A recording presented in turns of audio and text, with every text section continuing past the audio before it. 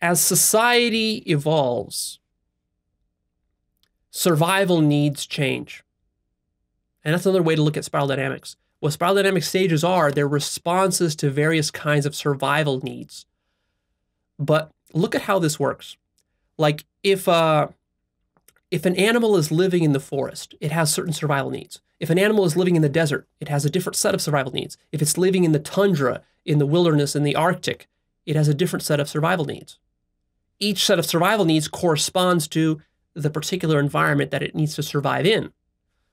But look what happens with mankind. Mankind shapes and creates its own environment, which adds a very interesting extra layer of depth to this whole um, survival needs issue.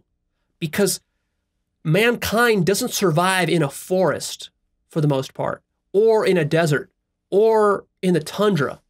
We survive within the society and culture that we create. Most of our society is collective. So think of it as like we are like ants building an ant colony, or we're like termites building this giant termite colony. So we are creating literally our own environment. We are terraforming the planet around us to suit ourselves.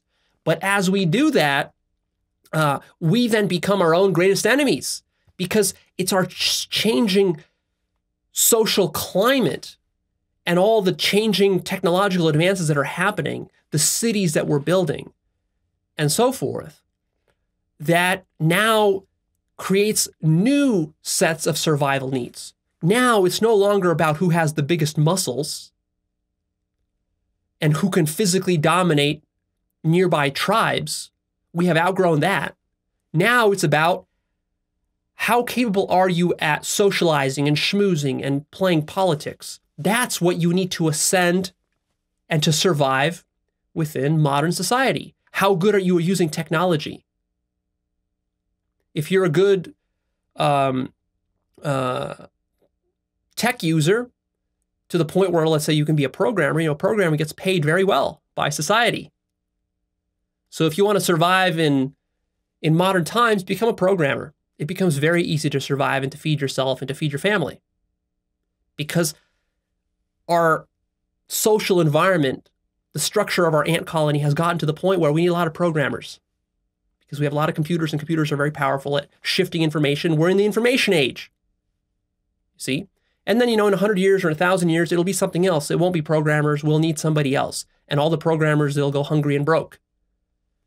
So, um, so you got to understand that, you know, as our society changes, what you need to survive within that society changes. Certain things become less important, certain things become more important. Like having big muscles is not important these days. Knowing how to use your mind, though, that's very important. That's very powerful. Knowing how to use your mind properly can earn you millions and billions of dollars. Knowing the right skill sets, how to program, how to socialize, how to network with people, these sorts of soft skills, as you might think of them, are way more important than the hard skills of like being a lumberjack, cutting down a tree, or um, being able to drive a bulldozer or something like that. These are much higher value than than those old kind of skills because we don't need them as much. So mankind is in a process of bootstrapping itself, and ultimately what's happening within our society, what our society, the environment that we're creating with our society, our ant colony.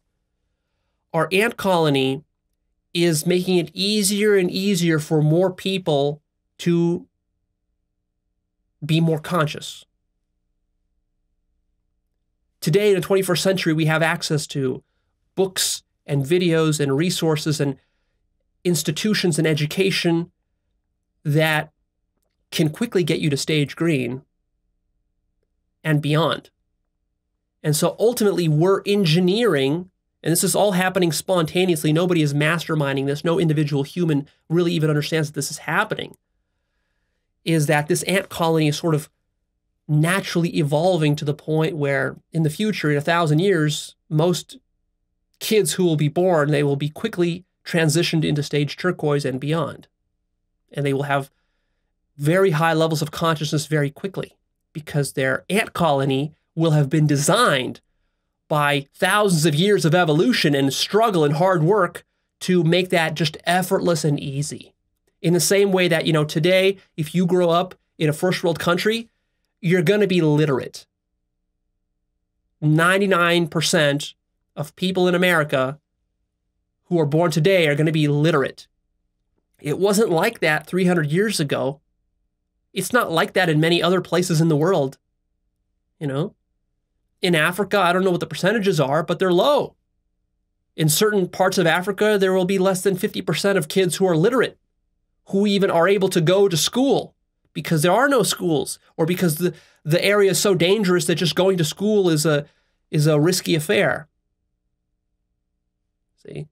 Likewise, you know, in the future, enlightenment will be very easy for people because you'll be just told about it from the very, very beginning. From first grade, you will already hear about it, from kindergarten. Um, and it won't seem weird or woo woo or new age or any of this sort of stuff. It'll just be easy. Your parents will already be enlightened. All your friends will be enlightened. Your teachers will be enlightened. So, of course, you'll get enlightened super easy, but uh, not in our lifetime. That'll take some number of hundreds of years to get there, maybe thousands of years. So, uh, I just want you to understand what's happening at the very big picture level. At the big picture level, consciousness is bootstrapping itself and it's building the infrastructure that it needs to facilitate more consciousness.